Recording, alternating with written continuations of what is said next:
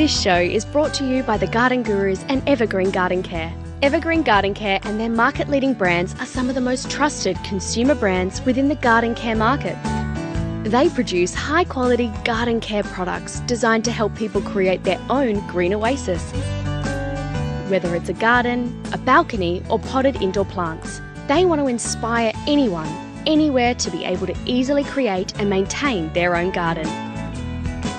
To find out more about Evergreen Garden Care, head to www.lovethegarden.com.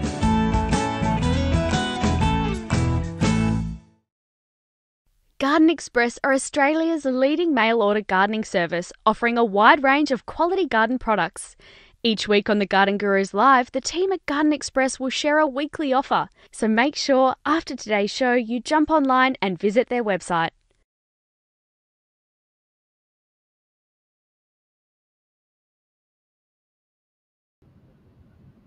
Hello and welcome to the Garden Gurus Live. I'm Sue McDougall and I'm so excited to be back with you to share Monday, just an hour or two. Uh, well, depends how many questions you've got, talking all things gardening. Isn't it just amazing? Around, well, Perth has really been hit with winter weather. Now, I know for everyone who lives on the west coast, that's not unusual. You've had lots of cold weather, but really winter has set in on this west coast. So, some fantastic rain. And I must say, and I always say it, autumn is my very favourite time of the year. There's just this sense of anticipation in the air. And there's so much to do at this time of the year, which means it makes spring gardening so much easier. We'll be talking camellias, we'll be talking some native plants, we've got citrus, we've got all your gardening questions as well. We're streaming live today from multiple pages the Garden Gurus Facebook page, the Love the Garden Facebook, the Garden Express Facebook, and our own YouTube channel. So, welcome, welcome to Garden Gurus Live. Don't forget to add your questions in the comment section. And if you do that, you have a chance to win either a packet of seeds today, or you might be the lucky one that gets the Mr. Fothergill's wooden dibbler. Now, these are probably one of the handiest things you can have no matter what you're planting, whether you're planting bulbs or seeds, or you just want to put some holes in the ground, seedlings, works absolutely fantastic. So, good luck with that but you've got to be in it to win it. So don't forget to be part of your garden questions right in the comment. We've got our good friend David Van Berkel who's sharing the Garden Express offer of the week with you today. Look forward to our chats with David. We always find out much more about the garden than what's actually on offer. Looking forward to that very much. I'll show you some brilliant plants growing in my garden. I'll just show you a few things that might be happening in your garden also, particularly when it comes to your citrus tree. And we'll check in with Greg Neighbour. Now, what Greg doesn't know about fertilizers, he's a technical um, guru about fertilizer, but that runs hand in hand with plants. He's been around for a very long time and really knows his stuff when it comes to fertilizing plants. And he's going to tell us about growing camellias. If you've got a beautiful camellia in your garden, we'll start the conversation. Have you got a favorite variety? Don't forget, to put that in the comment section. I'll be delighted to talk to you about your favourite camellia. They are super tough once they get growing, and we'll find out a little bit more about that later on in the show. So, in the meantime, let's start off with some amazing questions. We're looking at um, gardening, looking at autumn, things happening at the moment. Now, we've got a question from Diane. We have an above ground garden bed in which we plant tomatoes and cucumbers each summer. We don't plant anything in winter. We've been told you shouldn't plant tomatoes in the same place each year because of nematodes. Is this true? Well, it's actually because of lots of things, and it's actually not just tomatoes, it's the solanum family. So, and that includes eggplants, capsicums, it also includes uh, chilies, any of those solanum family plants. If you can work on a crop rotation, it makes a difference. One thing I can say is that if you have a really healthy, strong, alive soil, you'll find you'll have less chance of problems in the garden than what you would do if you do don't improve the soil as much. So the secret when it comes to to gardening is put the effort into the soil, particularly veggie gardening, and you'll get the difference out. But one thing you can do actually through winter is plant some brassica crops. Now brassicas have got very strong natural nematode repellent properties And if you can even plant them and then dig them in, you'll find you're improving the soil and putting a cover crop in for the following season.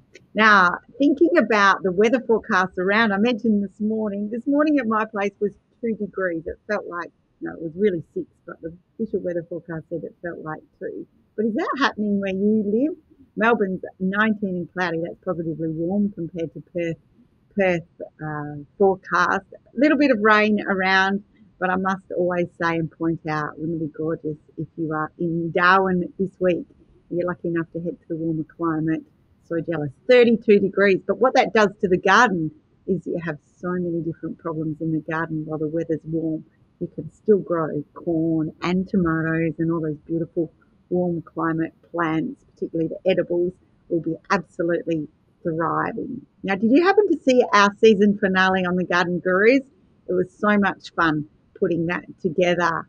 We would love to hear what you thought of it. Now, it won't be that long. You can find us on Catch Up if you're going to um, miss out on previous episodes, and I'll tell you a little bit about that later on in the show. But put in the comment section if you loved it, did you enjoy it, what was your favourite segment of our season finale, or what's your favourite segment of the Garden Gurus? Maybe then we can get twist a few people's arms and hopefully add some more favourite segments of yours for the spring series. Now we're heading to Victoria. Chrysanthemums. I plotted two chrysanthemums. This is from Jennifer, a white one and a purple one. And within a week, the white one started turning pink and the purple began to fade. Fade, I should say. Any ideas why?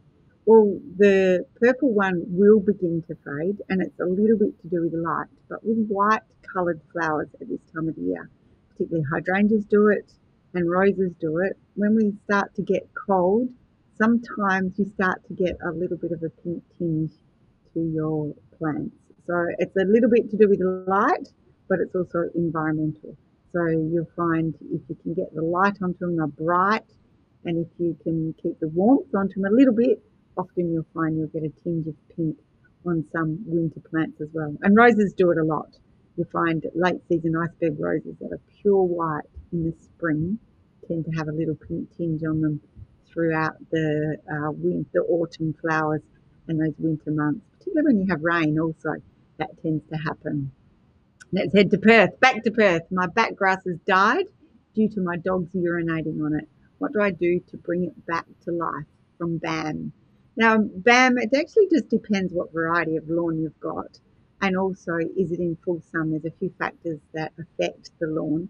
And most of the varieties of lawn that are grown in Perth are what we call warm season grasses. And so that's either softleaf buffalo, kikuyu couch, or also the, the some of the fine leaf hybrid couches. Now the hybrid couches are really tough. Throughout winter, the growth rate slows down in Perth, but they will still actively grow. You can still get some colour onto them. But if the dogs have been urinating on them, a little thing you can do is change the diet of your dogs and that tends to stop the urine being so um, acidic and so damaging to the lawn. But if you've got hard wear marks, it is late in the season and it will take a little while to come back. But if you can put a very fine base blend of fertilizer, of soil improver on your lawn, aerate it a little bit, open it up, and then you can start to use a liquid lawn fertilizer on it. And that will just keep it looking gorgeous, hopefully starting to shoot back if we've got some warm weather a little little bit of warmth in the soil temperature, which tends to allow them to have a little bit of growth. And then as soon as spring starts again, light top dressing, and it's only five mil over the top of it. Wash that in well, and the lawn will shoot back absolutely beautifully. It'll make a huge difference. When we're talking lawns, is yours looking okay at this time of the year? If you live in Darwin, I'm sure it's absolutely thriving. If you're in the cooler parts, tends to yellow off at the moment. But the thing we need to look out for are the weeds in the lawn at the moment, particularly where the soil's being compacted. But I know there is one plant that's absolutely looking amazing at the moment, and I know the Sasanqua camellias are just all around the country, are stunning and absolutely incredible at the moment. The Japonica camellia is a little bit later on, but one of my very favourite plants, a great standard standby plant is the camellia. And to tell us a little bit more about it, I'm going to welcome Greg Neighbour. I know we talk to Greg often from Love the Garden. Welcome, Greg. Sue, how are you? Good to speak. Brilliant. Brilliant. Now you, you have caught my heart with this. One of my favourite plants, one of the favourites. When I say structure plants for the garden, are the camellia. But I think a little bit of misnomer. People think they're too hard to grow. Uh, indeed. In fact, um, you know, a lot of the the old thoughts uh, travel through even the production nurseries that felt that they needed to be careful with fertilizers with them. But um, the reality is they uh, they'll take a, a, good feed and, and they'll love it. So, um, funnily enough, uh, in fact, my very first job at, in horticulture when I was 13 years old was yeah. a dis a disbudder, a flower disbudder at Camellia Grove Nursery. So, been involved for a long time. That's interesting you say that because many people set camellia buds or, or, look at them, they look like they're going to set buds and then suddenly they send out growth. They're interesting plant. They really grow once a year, don't they? They do. And, uh, you know, from their native areas, they're uh, basically very dry winters and, uh, and wet summers. So as soon as you start upsetting that cycle, when they're triggering, uh, you know, their their flower bud initiation during the uh, the wetter period. If that wet period happens in winter, then it, it kind of upsets them, and they they're not sure where where they're living today. now, disbudding camellias, I think there'd be a lot of our um, viewers and our audience that would think, my goodness, to have that many flowers and have the problem of taking the buds out would be a great problem to have. Well, um, because it was a production nursery and each weekend the flowers would be displayed for, for the customers to come and look at on a, on a water uh, mesh, my, my job was to thin the flowers on the axils so that the bud that did flower had a large flower. So the uh, by by pulling a couple of the buds off on the on the terminal shoot, then the bud that was left would become a nice big big flower for customers. And do you think do you think that it's worth doing that now? So if you're growing them in your home garden, you don't have to go to that effort, do you? Certainly not. Um, I've got I've got a reticulata that's uh, basically on the corner of, of the entrance path to my house, and it's so what I do is I thin just the side to the driveway where people are going to, to walk around, and the reticulatas are, are enormous. They're plate size when you do that, um, and I don't don't worry about disbudding the others, of course. So we talk about sasanquas, japonicas, and reticulata. If you're just a beginner gardener or just starting off gardening, which ones would you recommend to put into a garden, depending where you live? Well, the reality um, from a, a, screening point of view is the sasanquas are going to be uh, better at screening. They're, they're, thicker, smaller leafed, smaller flowered, but but very abundant in that. Uh, whereas the japonicas are more open branched. Um, I've got a whole back hedge of, uh, of Japonica, um, and it's kind of careful to note that first, if you are needing to prune them to to bring them back after, you know, if you're heavy pruning, I would prune half of them in, in one year, let that reshoot to, to fill in the, the gap that's there to keep your, your screen up between yourself and the neighbour. And then next year, um, prune the other half. And it's a, it's a good way of kind of retaining your screen without without making it bare. And how important is it to keep the root system cool on camellias? Well, I, I think there's a lot of again tolerance in this regard. The the, the natural environment is quite a, um, a deep humus under uh, under canopy. So in that deep humus, it's it's tending to be more of a shaded and cool root run. No no question, as in most of the Rutaceae group. But um, uh, I've found that you know they're pretty tolerant of a lot of pretty harsh and, and nasty situations, sitting on the on a footpath in the in the, a clay soil with in the full sun, and they still seem to, to, to grow and thrive. Yeah, it's actually amazing. They take drought. They do do super well. Now, anyone who's got an amazing camellia, don't forget to put in your comments about how it's looking gorgeous and one maybe your favourite variety. Do you have a favourite, Greg? Uh, Sawada's Dream. It's a it's a beautiful okay. blush pink that uh, that flows out, and it's um, yeah, it was always one of my uh, my favourite doubles. Um, another note, just quickly, is that uh, my next door neighbour came in and said, "How is it yours are in full flower and mine hardly have any flower?" He has a gardener, and the gardener pruned them uh, to shape after Christmas and of course pruned all the bud off. so yeah, and actually that's nothing. a good point. That is a good point that you don't prune the flowers. If you do prune them, you will have to um, be aware mm, you might lose some of the flower buds.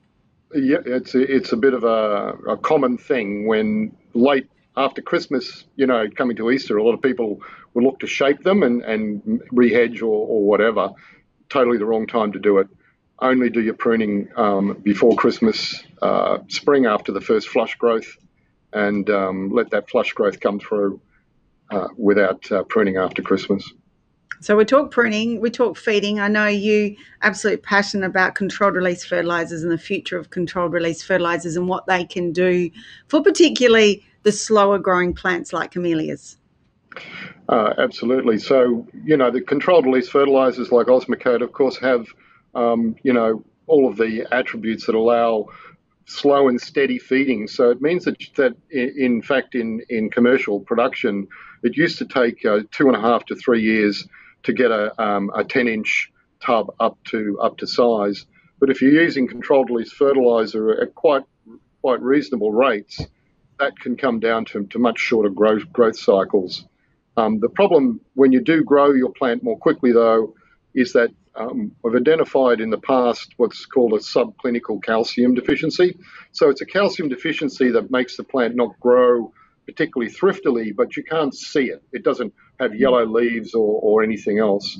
So when we go in with uh, with controlled leaves, or in fact, you know, in the organic, we don't have a particular one, but this um, the citrus, for instance, has yeah, all okay. of the attributes necessary for camellia.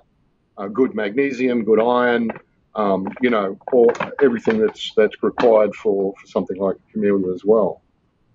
So, yeah, and uh, interesting uh, you say that. Um, just while I'm talking about that, you do have um, gardeners who say, "Oh, I haven't got anything that's specific for camellias," but you say some of those plants. If you think about the plants with similar growth rates and nutrient needs, you can use a say a citrus and fruit fertilizer. That's a good quality one.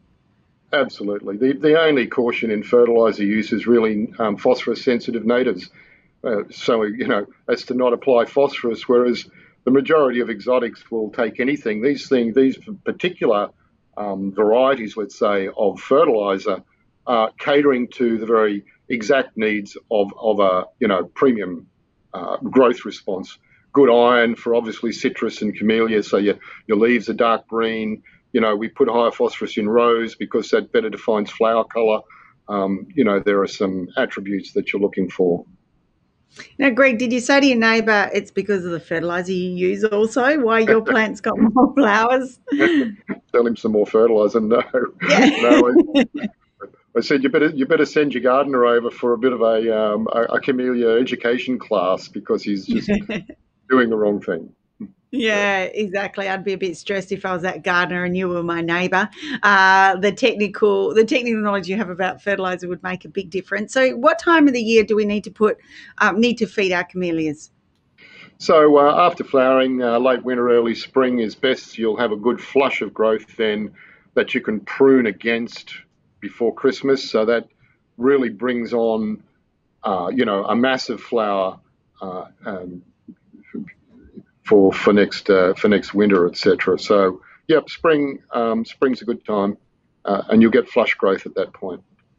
I look forward to it very much. Check it out Osmocote, azaleas, roses, and camellias. And if you don't have that, maybe you can get hold of some um, Scott's citrus and fruit fertilizer as well, professional grade. Yeah. That will make a big difference. But we're talking Osmocote. Osmocote has been a brand that's been around for a long time. And I would say Greg's been involved for that long as well. Greg, thanks for your time this morning. Good to speak to you, Sue. Thank you. Yeah, great. Greg Neighbour from Love the Garden. Let's head back to our questions. Uh, if you've got some, if you've got a favourite camellia, you've heard Greg's favourite camellia, maybe you can put your note down and share the love of the camellia maybe this this weekend and you can go out and see what's looking gorgeous. From Mahogany Creek, James, can you recommend a grape variety that produces a nice table grape and also nice autumn colour? The leaves of the one I had recently turned brown, which didn't look very attractive. Now, James, I have a little bit of um, inside knowledge, but Mahogany Creek is not very far away from my um, my neighbourhood where I live. And this year was particularly tricky as far as autumn goes because of it was quite dry, and then we we just didn't get it was quite warm, so we just didn't get that beautiful autumn colour, and they hang on for a long time. So if they have dropped off, go for some of the old varieties if you don't mind. If you don't mind grapes with seeds I would um, look at Italia. I love Italia. I love muscat grapes. They are just got the absolute best flavour. But if you're looking for a variety that's got no seeds and also hardy, grows strongly, and it has some beautiful autumn colour, definitely check out Sultana grape. They are fantastic and they're just easy to grow, been around, vigorous, and been around for a long time. But if you want beautiful autumn colour and just incredible autumn colour that just almost glows, you cannot go past the ornamental grape. Now, this is not going to send out any fruit for you, but the color of it is just absolutely spectacular. So, in Mahogany Creek, if you're in a spot where it's a little bit cool, maybe you could grow an ornamental grape also as a standard. Now, how you would do that is that you train it up on a big uh, stake and then you'd let the branches hang down, and it's particularly stunning fast growing grapes are underrated, I think, to use for summer shade and winter sun, particularly even if you're shading parts of the garden as well. Enjoy them. Enjoy Mahogany Creek, actually. Beautiful part of the world. Let's head to another gorgeous spot, Belgrave in Victoria. Margaret, my hippeastrum hasn't flowered over the last few years what am I doing wrong? Now, hippies are interesting because they are a plant, well, they're actually a bulb. They need a dormant time. So, over the winter, they need to go dormant. They will then set their flower, their embryo for their flowers, and then send out their flower before they send out their foliage. Margaret, one of the things that you can do with a hippeastrum is at this time of the year, they need, well, a little bit, so in May, they need to be fed and so that then they go into their dormant time so their bulb is big enough to set the embryo for the following season, for their flowering the following season. If you've got a pot and it's jammed packed full of bulbs and there's lots of bulbs around it, what you can do is split them up to get some beautiful large bulbs and feed those individually. And then that plant is strong enough and mature enough to flower, set that embryo for the following year. That makes a difference. And also bulb fertilizer after they've finished flowering, while it's foliage on it, as well a complete bulb fertilizer that's going to deliver the nutrients that set that embryo for the following year. I always say the work that you put in for, for bulbs this season, you'll see it next season when it comes to bulbs. So bulbs is fruit, future gardening. You can do the work, but you have you don't get the benefit for 12 months time or the next growing season. Hope that helps. Margaret, enjoy them. Hippeastrums, I just like their foliage as well. So, you know, maybe enjoy them as well. To Marika, my citrus trees are going yellow. Is this an iron deficiency or are they just not suited to the area or soil? Must comment to say, please don't forget to put your area in when you send us a comment because then we'll know exactly what's happening. Citrus trees will turn yellow at this time of the year if you live in very high alkaline soil areas. They'll particularly showing up iron deficiency. And iron deficiency is when we have yellow leaves and green veins. And so often we'll say complete citrus fertilizer that's got added iron, that'll make a big difference to growing citrus. But also, if there's a lot of fruit and I haven't had a program of regular feeding, I would start. What we do, Marika, is we start or recommend fertilizing a citrus tree at the beginning of every month, a little bit regularly. So from August to May, regularly. And then I always feed the foliage, particularly if they're growing in a pot you can imagine how many nutrients it takes out of the tree for it to grow. And you'll find that it just sucks the nutrients out. And so if you can keep regularly feeding them, they they don't take very long to come back looking gorgeous if you're using a foliar fertilizer, soluble foliar fertilizer at the same time. And also, if you've got a lot of fruit, just pluck the fruit out. Um, you heard Greg talking maybe about uh, thinning out the camellia buds. The same thing happens when we're growing citrus. If you can thin them out, you'll get bigger fruit and the same nutrients are spread over half the amount of fruit, but the fruit are double the size. So hopefully that helps. But start a program of fertilizing. You can use a liquid fertilizer now, but start a program of fertilizing at the beginning of, of spring. To Sydney, for, to Janice, Hello, Janice. Can you please give some advice on growing cyclamen? is it true that they die after flowering, including the leaves? What's the best way to care for them to ensure they come back? Camellias are a bulb and they're a cool climate bulb. So I'll say if you just have a look underneath the leaves, you'll see where the leaves come out of the bulb, and underneath is this just perfectly round little bulb. The foliage, they love the cold. So you put them out at night, and when the the cat comes inside at night, the put the camellias outside. But you can also grow camellias virtually in a pot on a veranda, on an alfresco area. They really, really love winter. Over summer, yes, they will die back and they get very stretched as the weather warms up. And you'll find that over winter, they'll just, sorry, over summer, they just die back completely. Often, if your climate and where you live and it's very hot, it used to be recommended that you would put them on their side, let them dry out, and then when as soon as they're starting to shoot in autumn, they'll come back again.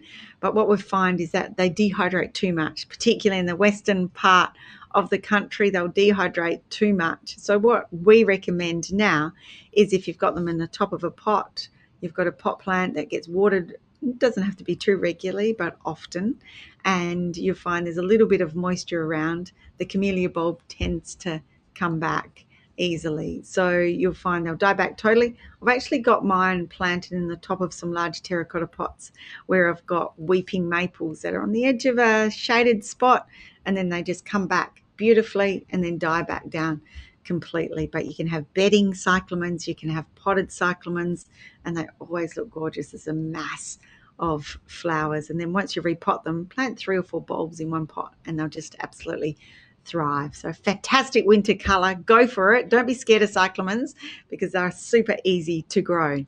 To Fremantle, I have tomato worms in my raised garden bed. What can I do to stop them? When you say tomato worms, are they curl grubs?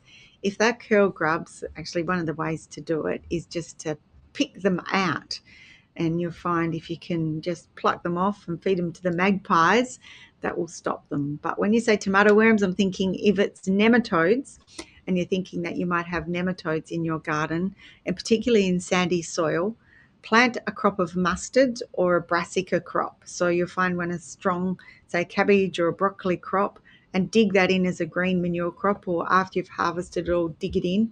Mustard's also very good and used a lot to repel nematodes naturally rather than having to resort to anything else. So nematode, nematodes in the soil render the, the crop pretty unsuitable. It gets stunted, the root system doesn't work effectively, and you end up with problems. So if you can have healthy soil, also the use of seaweed extract and organic matter and soil improver makes an absolute huge difference to the health of a garden and a garden can actually cope with a few nematodes or a plant can cope with a few nematodes if it's not stressed Hopefully that answers your question, Rachel. We're going to Mittagong in New South Wales via the Garden Express Facebook. I'm sure David will be happy to hear that when we talk to him. Greg, I want to buy a clear or white coloured greenhouse for my seedlings in winter. As I understand, this will keep my plants warmer in winter. Will it do the same as the green coloured type? in summer. Actually interesting. What we have to do is if it's if it's clear, just be careful that it's not too hot uh, depending where you live. Um, the white one just lets out, just if you're in a warmer part, part of the country, it just blocks out a little bit of that spectrum of light. So it keeps the plants a little bit more protected. So, yes, it'll keep that warmth in no problem at all and you need that but many glass houses across the country in the old days or the poly sheeting they actually whitewashed and that what that does is means that it just blocks out that bright light that becomes a problem. So, uh, my recommendation, maybe we'll talk to um, David, but my recommendation is just get a white coloured greenhouse, particularly if you live in an area where there's high light. On Saturdays, I hope that hour helps. I'm actually dreaming for a glass house as a greenhouse as well um, particularly when it's wet. Go in there and it's nice and warm, but plants just absolutely love it. Get a few head start on a few plants, seed germinating, and also keeping those plants through winter looking fantastic. That's every gardener's dream, I think. Now, every gardener, I'm hoping, watched the Garden Gurus, our season's finale this weekend. But on Saturday's season's finale, Bonnie headed into Garden Express to check out their fantastic operation. Let's take a look before we talk to David.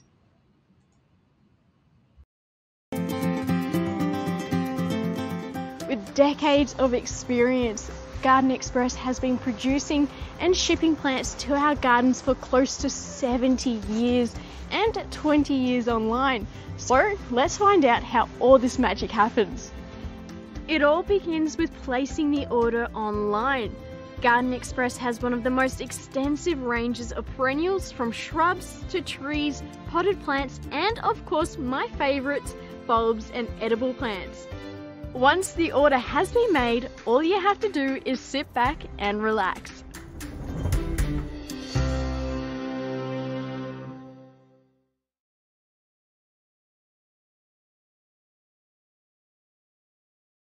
Got some hot tips. You can be assured that when you mail order plants, you see where they come from. It's always good, I think, to know where they come from, the operation, the love and the passion that goes into every plant. And I think there is a lot of love and passion that goes into every plant produced in Australia, but someone who's absolutely passionate about plants. We talk to him regularly. I look forward to it very much on our Monday chat. Is David Van Berkel, who's part of, well, he is the man behind Gardens Express. Hi, David. Hi, Sue. How are you going? Yeah, very well. Now I'm pretty excited because it's raining. It feels like winter today. That's the first day we've had that feels like winter. So it does mean that I want to get some roses. Um, Lisa dropped off the roses. They're looking dormant. Now it means like, oh, might have to plant some more in my garden. It's time. It's definitely time. Although our leaves have fallen off a long time before yours, that's for sure. yeah, it certainly does. And we did uh, preempt the rose season a little bit earlier on. And you were saying a few weeks ago, you were saying Garden Express has almost a staged release of roses. They come at different times depending what's available. And I wanted to feature roses today because it really is probably what many um, bare rooted uh, mail order businesses were built on in the long, like, many years ago.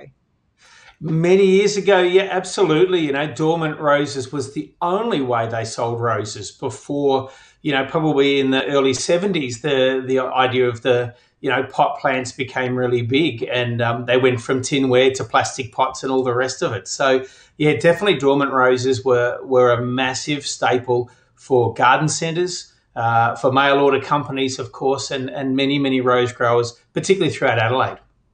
Yeah. So have you been selling roses for how many years? Can we let that secret out, David? Since I was a baby, basically, it's uh, one of those jobs that comes around every um, every May. We get the first of the roses, and, and we've been bagging roses forever. Uh, and back in the day, we even did some bagging for a big company called Kmart. Yeah, interesting, isn't it? The market has changed. Rose market has changed a lot, particularly it used to be the place to go to get the roses. The the new varieties were at the big companies that you saw, but now we've got a lot more niche market. You've got more control. Was that the right way of, of what you can give out and when? Yeah, I, I guess so. I guess the um, the way the process happens, there's different breeders around the world, and then there's different growers associated with those breeders, and and so, yeah, the, the avenues to market have changed a lot. And I guess uh, for, for us guys uh, on the internet or, or particularly the, the traditional mail order, we have some really good access to those varieties, particularly due to the low numbers that initially come through on trial roses or, or new new roses. There typically might only be a thousand available for the country. Um, and so you can't really put that through a, a, big box retailer. It wouldn't wouldn't be many in each store, so to speak. So um, yeah, we're pretty lucky, we work pretty hard to find those new things to bring to customers as well. That's what I wanted to ask you. I mean, you must get like we do. We're at the next step, but we get all these catalogs and thinking, how do I choose what's going to suit? Because rose breeding is a big business around the world. Absolutely, and and I guess over time there's been a little bit more emphasis put on climate and uh, and disease resistance as well, which happens in a lot of breeding programs. You know, what can we deliver best for? Uh, is it for the gardener? Is it for the cut flower industry? Uh, as happens with um, with vegetables and produce for for uh, people to eat as well. So, um, so with roses, you know, there's been some really good um, advancements in roses for warm climates to get rid of the black spot and the powdery mildew. Uh, but also some of those really delicious traditional roses, um, the David Austin varieties, of course, uh, really, really beautiful roses and a little bit hard to get as well. Yeah, and is there a is there a trend that we're looking? You know, I picked up. You mentioned disease resistance, heat tolerance. Was there a trend back to perfume, or has it always been there, David? I think it's always been there. You know, I, guess the, there's a thing about the sexy colours, particularly bicolors. You know, and I had a discussion with uh, with the group of the, the Dahlia Society, National Dahlia Society, and they won't show bicolors on their benches uh, because they're imperfect. But as home gardeners, we love, you know, that trend of of um, fashionable colours or, or bicolours just really are something quite different. So there was a bit of a trend away from the perfume, but now I, I do believe it's back for sure. I oh, look forward to that. So, can you give us a few tips? I know this is a question without notice, so I don't expect you to go, yeah, I can think of it straight away. But are there, say, a top five that um, of of roses that that you love personally that are your favorite that you would put in your garden? Oh goodness me! Uh, I have about a hundred like roses in my garden, so that is putting me on the spot a bit. Look, I suppose the most popular five would be any any of the icebergs. Obviously, the white iceberg. It flowers for the longest. It delivers the most uh, blooms per per rose bush. So it's one of the biggest favourites, of course. Just Joey, beautiful, beautiful apricot with a really beautiful scent. Um, some of the reds, Mr. Lincoln is probably the top one, or Papa Meilland, uh, a French variety, uh, very, very popular. Um, Peace still rates up there. It, it's been superseded by a few better bicolours, but Peace is just one of those fantastic roses. Celebrated 50 years, I think, about five, six years ago. You know, interesting you say peace because I, I, was struck by Peace, the book that was written called Spirit of Peace, and how the, the peace rose came to came to into our gardens. It's just an incredible story about the passion around plant breeding. Yeah, it's pretty crazy, and I think the the, the book came out that a new rose, the Spirit of Peace, which was a yeah. a, a, more um, more exciting sport, I suppose. Uh, and, and that's the story of, say, uh, Burgundy Iceberg, you know, just a sport of iceberg. And then off that was Blushing Pink Iceberg, um, all proven to be really beautiful roses in their own right. And interesting, you mentioned blushing, uh, sorry, Burgundy Iceberg, because as a garden plant, it is stunning. We've, I drive past a hedge of a Burgundy Iceberg every day, and I just love it. Um, it, it is a delicious color. It really is. There's very few like it that have that really rich, uh, you know, burgundy flavor. You, you sort of once you get into purples, you really do struggle to to get that consistency of flower. Um, some of the best rows, like I love Sentimental. It's one of my favorites. I can never seem to grow a, a fantastically big bush, but the blooms are just exquisite. So um, breeding creates some really interesting results. You know, I often say to people the um, the prettiest things are probably not the easiest to grow uh, because that that diversity or those um, those one offs in nature that come up, um, you know, they do present some other issues. Yeah, they certainly do. Now, Garden Express has their um, bulb, sorry, roses out. Um, the varieties of roses. We head to your website. Uh, all of them available, readily available at the moment, David. Yeah, we've we've still got a good list. We've uh, we, as I think I mentioned a couple of weeks ago, we've got some some new varieties turning up uh, from the paddocks every couple of weeks. We've got our patios and standards coming through uh, probably around the second week of June, uh, and that's why it's been nice this year to be able to break up the delivery of the roses with. Um, with what's available. If we held them all until the middle of June, people would be a little bit too keen and eager. So you can maybe plant a few this week, plant a few in, a, in another month's time. And now that you mention, I just want to quickly mention patio roses because they're another underrated um, group of roses. They are fantastic for pots. They really do flower. You chop them back quickly. They look a little bit awful for a bit when you chop them back. Well, I don't mind that look, but they they come back so beautifully so quickly. Yeah, and, and I guess for people who maybe haven't heard of that term or, or, misinterpret that term, it's not just a rose for your patio, it's a rose that's budded onto a, a two foot stem. So it gives you a little bit of clear uh, clearance from your pot, makes it great for underplanting with some petunias or some of those other seedlings. Uh, and then a standard rose is, is traditionally onto a three to up to four foot stem before the bud. So that really brings it up nicely in the garden. Then, of course, a weeper is a five to six foot stem, uh, traditionally a, a rambling or climbing rose that hangs down. Yeah, quite beautiful as well. Garden Express. How do we get hold of the roses? Hopefully, we've inspired a few to plant some. Wow, every year I do it. I love planting them. I do curse it when I have to prune them, David. I must say, but um, it's worth it. Where do we head? Uh, www.gardenexpress.com.au. Ah, oh, fantastic. David, thanks very much for your time again. Uh, just a few of those favourite roses of yours. I know you've got them coming up. Fantastic operation Garden Express has delivering Australia's gardens through the mail and make a huge difference. Support works really well. And hopefully, this is my last time for a few weeks. So hopefully, I catch up with you soon. Yeah, absolutely. We've got plenty coming up. We've got fuchsias, gladiolis. We're starting to harvest our dahlias, hippeastrums. There's an enormous range to uh, to come over the next three to five months. So we look forward to speaking to you soon, Sue. Doesn't take long and the years come around again. Thanks, David. I know he'll be out to plant some roses. I'm sure he's got hundreds in his garden. I'm sure every year you get, even if you grow plants, you still absolute passionate about it. And as he said, he's been growing those plants for since he was a baby.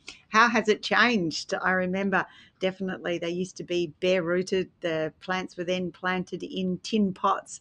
They were then um, put into terracotta pots as well. And then, of course, then modern horticulture has made it easy to cart plants around the country. So, well done to Garden Express and their team for getting those plants to your backyard. Now, I'm going to talk to you about a few plants looking absolutely amazing in my garden. And I wanted to just kick off. Well, I started with one, and I say plant of the week, and I started with one, and now I've just got way too many. So let's go through it. Let's talk about it. Now, this one is looking just started to come into flower are the chamelauciums, so the Geraldton waxes. And these plants are particularly West Australian, but do grow particularly beautiful all around the country. This is Purple Pride. Purple Pride starts off as a lighter colour and it will be in full flower for three or four months.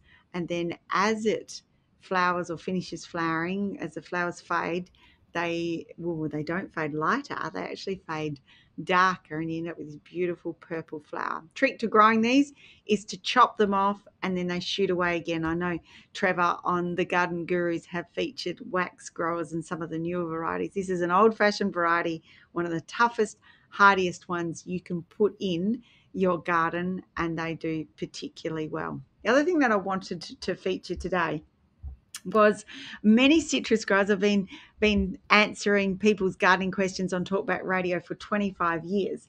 And many citrus people ring up and say, Oh, my citrus has set this fruit out and it's not looking like it should.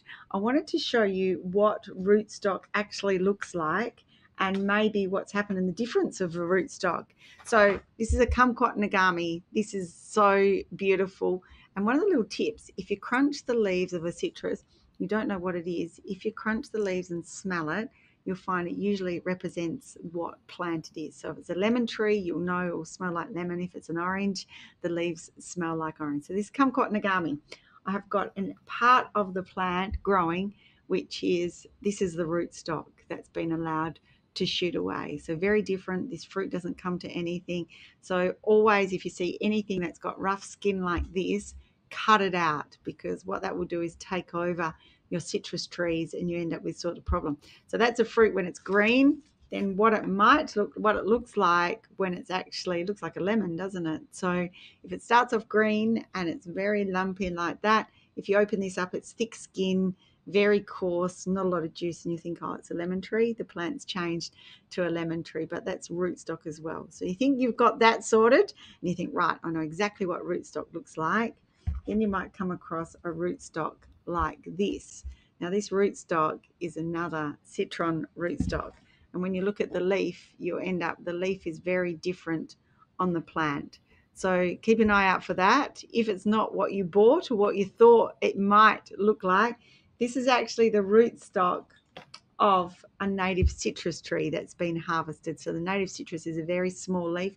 And this is what they've used for rootstock. And the tell, telltale of this as rootstock are these thorns. It's a pretty good indicator that it's rootstock taking over.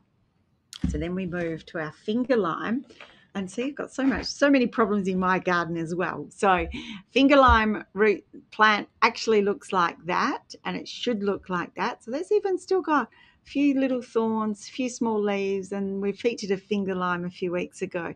If you wanted to talk about those, what the rootstock looks like is this really coarse, harsh, harsh, prickly plant that the leaves are beautiful autumn color, but drops their leaves in winter. So any of those, if you've got that, you've got something that looks like that, or you've got this on your citrus trees, it may be rootstock. If it's not exactly what you've got on your citrus trees, you might have to cut it out or take it to your local garden centre and see if they can identify it for you.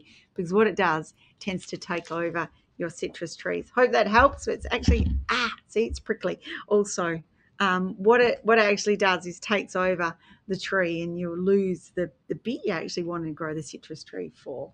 So we'll head hopefully that helps identify what can be rootstock and you just cut it out as as you'll see where it's been grafted and you just need to really cut close and almost gouge out the rootstock stems because otherwise they'll keep shooting away and keep causing a problem on your citrus tree. I'm going to get rid of that. That's so prickly. Let's head to our our garden questions and answers. Don't forget that you've got a chance to win some seeds if we answer your question, and we'll put the comments, we'll put the winners on our comment section. Stay tuned for that. Margot, how do I get rid of mealybugs? Mealybugs are actually a bit tricky to get rid of. They they hang around the plant's roots as well. If there's a few on the top of the leaf, you can nab it with methylated spirits. But if you've got them, if you dig around the base of the plant and you've got them and you can see a few insects around the base dunking the whole plant pot and all with Natrasoap is what we can control mealybugs for. They're actually a little bit tricky to control and you've just got to keep at it. Not, not a one-term fix with mealybug, it's actually a long-term fix to get rid of those. To Broken Hill, for good Good evening, good afternoon, I should say, Pam. I've been given a small quince tree because of lack of available ground. I've put it in a half wine barrel. Can you give me advice on how to care for it, please? Controlled release fertilizer, good quality potting mix, full sun, and water in summer. That's really all you need with a quince tree. They are incredibly hardy, beautiful small tree, and one that will cope beautifully in a wine barrel. Pam, enjoy it. To Leah, who's sent a message via the Garden Guru Facebook page, I've heard that since we don't get the chill factor that other countries get, that it's good to put ice cubes on things like peonies to give them extra chill time. What other plants could this work on? Yeah, I've heard people do it, and some people swear by it. Some people don't say it doesn't make a difference. But if you can get onto it, absolutely go for it and see how you go. Peonies will grow without, particularly in Melbourne, without having to worry about ice blocks. But it works really well with cherries. If you're growing cherries, tree peonies, it will. There's um, some bulbs need the chill factor as well. So give it a give it a go. There's a few things that need the cold. English lilac is another one that you'll be able to get the cold and get them to come up. But mm, it's a lot of work. And then I'd be thinking try to grow the plants that cope beautifully in your climate and you don't have to worry and still enjoy them. So there are peonies, and I know Garden Express um, will be able to help you with the varieties that are well suited to your climate, particularly in Melbourne. To Adelaide via Garden Express Facebook, something is eating Leonie. Hello, something is eating my leaves of my collie and broccoli in a high raised bed. I've sprayed with Confidor, but no change. Any ideas, please? If it's eating them, as they've got little holes in them. It could be a problem called diamondback moth. Now, diamondback moth is a little um, little larvae that's actually it's not the adult that causes the problem it's the larvae that causes the problem and one of the controls you can use for that is either dipel or success and particularly with the cauliflowers and broccoli i would say mostly that's what's causing the problem. There's quite a few giant crickets around also. So out at night with a torch might be the best way to go, Leonie. To Bundaberg, Bev and Keith, hello. When is the best time for growing root vegetables and salad vegetables? Well, actually depends, but root ve- depends what you're planning to grow. But root vegetables do really well in winter. There's something intensive. The cool weather intensifies the flavour. You'll have a better chance growing parsnips and swedes and turnips and carrots through the winter rather than through the summer. Salad veggies, you can grow repeat harvest lettuce at the moment, do absolutely brilliantly but capsicums for salads, you'll find beans for salads, and you'll find the the repeat harvest lettuce will actually do really well in spring. If you tend to get bitter leaves in summer, it's because the variety is stressed. So the plants need to be grown, particularly repeat harvest lettuce leaves, need to be grown quick and quick turnaround, harvested quickly. English spinach is a winter crop and also rocket will do better. Much stronger flavour in the spring and as the weather warms up, grows really fast at this time of the year and you can harvest it well. What is a good fertilizer from for a magnolia? That's Greg. So not sure where Greg is, but if he's growing magnolia, we talked controlled release fertilizer, Greg. So when we're talking Osmocote for camellias and azaleas, you can use that. Any citrus fertilizer, you can use that. Any complete flower and fruit fertilizer as well for a magnolia. Anything that is for flowering, delivers the nutrients for flowering, you can use. Now, it's probably no different if it's growing in a pot or in the ground, but always, you can always guarantee you won't burn anything if you use controlled release fertilizer on a plant in a pot and you'll find that sometimes depending what you use in a in a pot if it's a quick release one that can cause problems but always recommend using controlled release fertilizer in the pot makes a big difference and also takes the guesswork out of feeding plants also from well, not sure that the area where we're heading to Perth now. My garden has been inundated with grasshoppers who have munched many of my plants, including citrus and apple trees. Any suggestions? That's from Colette. I know, Colette, there are so many in WA. I don't know where they've come from. They just appeared. And you see a few nymphs around as well. So there's a giant one. You'll see lots of them, and they take huge munches out of plants, and they've been a problem for the last six months. And the baby nymphs are causing a problem as well. So if you look closely, you'll see it on a few rose leaves also. You'll find that one of the best things to use is Eco Neem or neem oil. Now it's registered for it and it won't affect the adults at the moment, but it interferes with their reprodu- reproduction system and so interfere with their breeding cycle over a period of time. And so if you can get the neem oil onto them, they'll still hop around and you'll think, ah, these are meant to die. They'll still hop around, but the next next lot will be knocked around. So you reduce the population also. There are products around with called cricket and grasshopper bait you can use those, but be very careful if you've got animals around your garden. You don't want a brand bait that they're attracted to. Also, that's why Eco Neem or neem oil is one of the most effective controls for grasshoppers at this time of the year. To Jacinta, what are the best Aussie plant varieties for a long retaining walls. Not sure what area you live in, but a few a few that you can plant that will do really well. Well, my goodness, grevilleas as a plant genus or a group of plants, there are many different species of grevilleas that will also be able to retain but also screen and do really well. And also, depending if you wanted them to hang down, they'll cascade down for native plants. You can plant some of the Scaevola varieties if you wanted plants to hang down and cascade over your retaining wall. If you wanted to put some of the native native rosemary, so the Westringias do brilliantly and they'll cascade down, but also they'll grow up depending up to a metre and a half species. So if you've got a really hot, dry spot, head to your local garden centre, Jacinta, and just have a look at the area, maybe take a few photos head to your local native specialist and they'll be help help you with some species that do really well. But if it's to cascade down, a couple of the ground covering grevilleas are absolutely brilliant. Check those out because I'm sure you'll love them in your garden. And the honey eaters and the birds will love them also. To Melbourne, Leo, is there a dwarf mandarin tree that will do well in a large pot that's seedless? Yes, there are many. Uh, if you can go for some of the mandarins that yeah there are seedless varieties of mandarins but also chase one up that's on a dwarfing rootstock and you'll find they'll grow brilliantly in a pot even if they're not grown on dwarfing rootstock mandarins are by their very nature the seedless varieties are quite small plants anyway. So when I say a large pot, you're looking at a plant pot, so half a wine barrel. You'll be able to easily grow a mandarin in that uh, size container, and they'll do brilliantly. To Australind, head south of Perth. The ends of my avocado leaves are going brown. Can you tell me why? To Dennis, or Denise, I should say. Denise, that can happen for a few reasons. Avocados are quite heavy, you know, they need quite a bit of water, but also their older leaves will burn around the edges. So if they're in a particularly windy spot, there's salt damage, something like that can cause a problem on the older leaves until the new growth comes out. So it depends if it's the older leaves that are causing a problem or the newer leaves. Just check down the stem of your avocado as well because you'll see areas where it might have gone black. That's an indicator of sunburn. So if there's not enough foliage over the plant and it's protected the plant, we've had a particularly hot day, the damage will show up a few months down the track.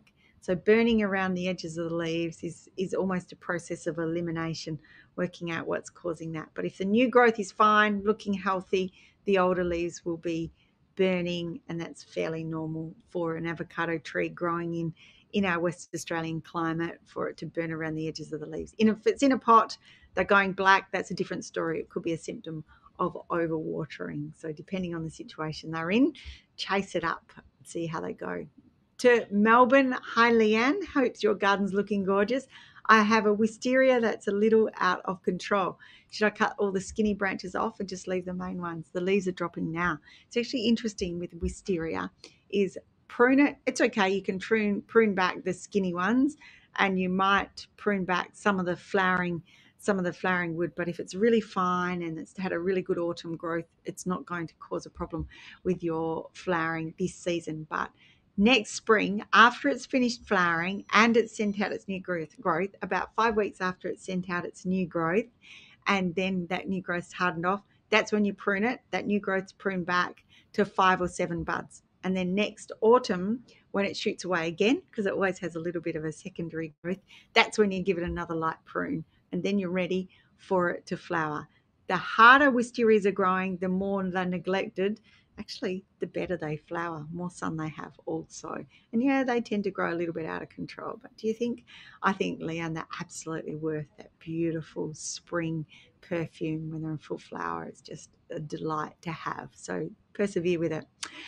To Canberra, I have a diamonds in the dark crepe myrtle which has a white substance on the leaves. Should I just leave it? It's losing its leaves. Can I plant in the garden now and should I add it to the garden compost? And should I add garden compost? Yeah, that white substance on the leaves is a problem that most crepe myrtles get. Some of them are resistant to it, and diamonds in the dark supposed to be resistant to it, and that's a problem called powdery mildew yeah, look, not a lot we can do about it now. You can give them a winter cover spray if you want to, but as it drops its leaves, it's environmental. With a little bit of humidity this time of the year, the plant's slowing its growth rate down. They do tend to get a little bit of little bit of um, powdery mildew. And if it's in a bit of a shady position, there'll be more powdery mildew on the leaves than what it would be if it's out in the open. So, yep, you can plant it in the garden now. You won't see lots of growth, but you'll definitely see an established plant coming into spring as once it's getting established at the moment. Yes, definitely add garden compost. And depending where you are in Canberra, where the soil is quite heavy, some of it's sandy, I think, from memory. But if you can add garden compost, add some blood and bone as well, definitely. It's like planting a bare rooted tree. The secret's in the soil preparation for the following spring. That makes a big difference. And gardening at this time of the year is all about soil, all about preparing the soil and enjoying it and getting out there and digging whatever you plant at this time of the year. There's one tip you can take back at this time of the year is improve the soil. Put a lot of your effort into improving the soil and that makes your life as a gardener so much easier. Oh, that tip helps every plant that's going into the ground this week or this weekend as well. Well, that's it. That's it for today's episode of the Garden Gurus Live. Thanks so much for joining us. Trevor will be back next week So next Monday, market. Trev's back, back in town. He's out and about. I'm sure he's got lots of tales of where he's been and what he's doing. Seen some gorgeous parts of the country, and also further. He's been overseas as well. So further afield, um, I'm sure he'll share that with you. We'll be back, or Trev will be back next Monday at 12 p.m. Australian Eastern Standard Time. So for WA viewers, that's 10 o'clock mark set an alarm now so you can remember. We hope you enjoyed this season of the Garden Gurus. Remember, you can always jump onto the website and catch up on previous episodes. If you're missing out on your Garden Gurus fix, the stories are at thegardengurus.tv or our YouTube channel, thegardengurus.tv. You can listen back today if there was something that you've missed. Lots of information on camellias if you want to know how to care for those. If you'd like to find out some of David Van Berkel's favourite roses, you can listen back today on Spotify, Apple Podcast, and Audible as you can on any previous episodes of today's live stream. And we'll see you again. Don't forget, Trev will join you next Monday at 12 p.m. Australian Eastern Standard Time. In the meantime, enjoy your garden. Visit the Garden Guru's online store and browse through a collection of high quality, German made Wolfgarten tools. You'll also find a range of books with information to help create and maintain a beautiful garden. You can also access the online store on the Garden Gurus Facebook page